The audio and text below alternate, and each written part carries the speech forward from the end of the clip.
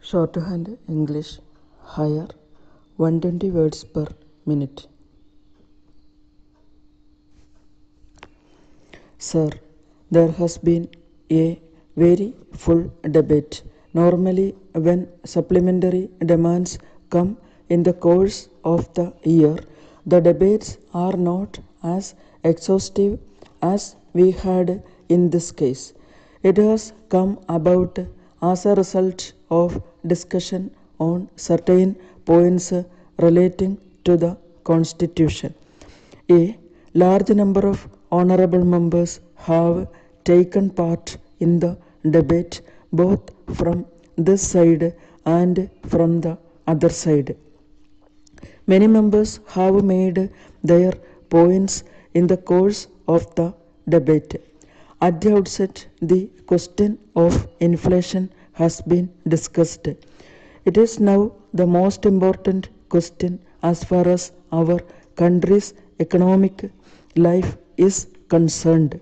In addition to that, many other points have also been raised by the honorable members.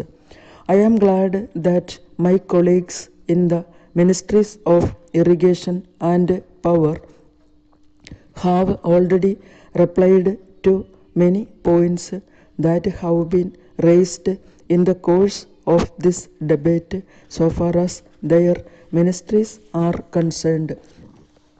So, I will only deal with some of the major points that we have been raised in regard to the question of economy.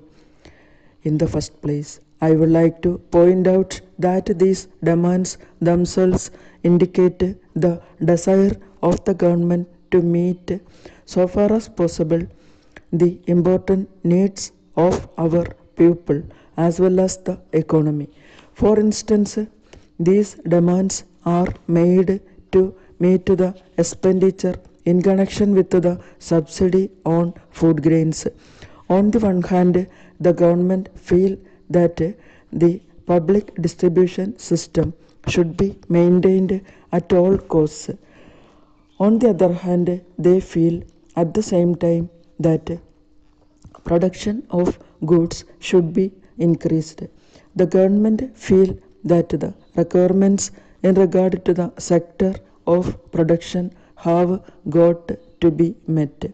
This shows the desire of the government that on the one hand inflation has to be met by necessary revenue measures and on the other hand it has to be met by increasing production of goods. As i have pointed out already this has also to be met by having a public distribution system throughout the country i will now come to the question of inflation and the state of economy which have been discussed here. The finance minister has already dealt with these matters on some occasion or other. He replied to the debate on the finance bill.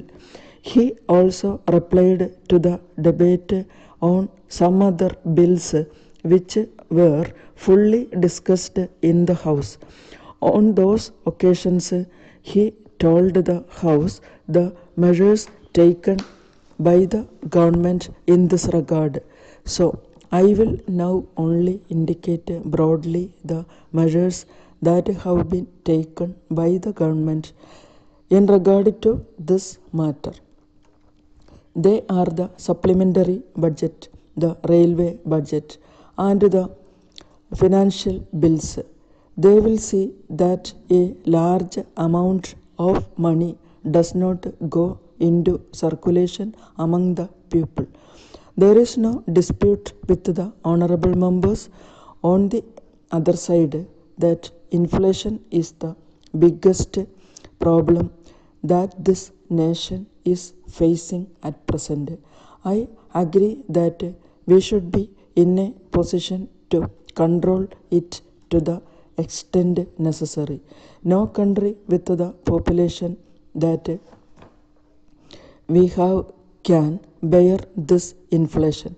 With reference to this point, it has been said by the Honorable the Finance Minister already in his speeches that the effect of the measures that we have taken can be seen only after some time. But we hope and believe that all these measures will help us to control inflation. We may wait for some time and see the results. The measures taken by the government to increase production of goods have also been indicated in these demands. Letter dated 12th February 1980 from Krishna and Company, Madurai to Messrs. Rama and Company, Madras. Dear sirs, we thank you for your letter of the 6th instant. We would like to inform you that we have received just now the three consignments of the glass articles sent by you by rail.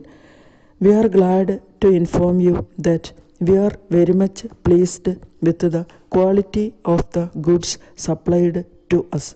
However, we are sorry to inform you that one of the consignments has been damaged very much with the result that they have become useless. But we wish to tell you that the damage has not been due to any mistake on your part. It is clear that the damage has occurred during transit by rail.